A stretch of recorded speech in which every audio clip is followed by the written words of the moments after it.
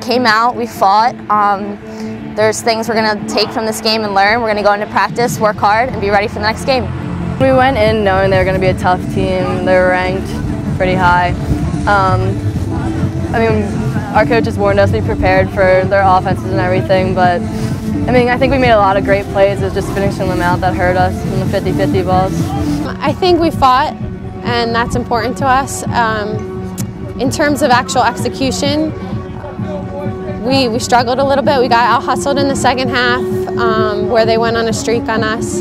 I think uh, the final minutes you saw the team fight and show character, and uh, that's what we want.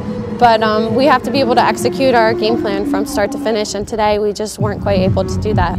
Definitely will help us playing great competition.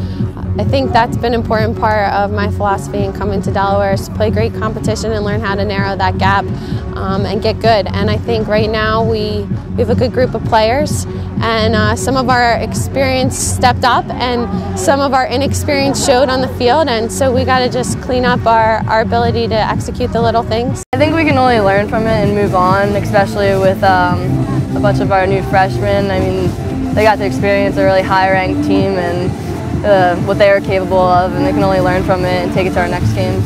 We have upperclassmen who have experience, and then we have the younger classmen who bring a lot of energy. So we're just working to get better each day. Um, we're going to go into the Wales game, execute our game plan, and hopefully get better each game.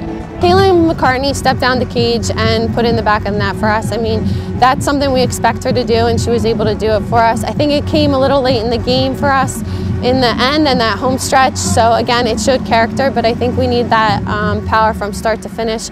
Chelsea, I think definitely in terms of her capabilities, um, could have come out a little bit stronger in the first half. We subbed her out, talked to her, and she had a good response, was able to take a half second, placed her next shot. So um, definitely something we, we were looking for from an experienced player to make that adjustment on the fly. But um, I think overall we're going to have to have a little more firepower um, from start to finish uh, in order to win the game. I was just trying to do whatever I could for my team and do whatever I could do best. Um, hopefully we can keep the momentum going into the next game and work on a few things and execute our offense.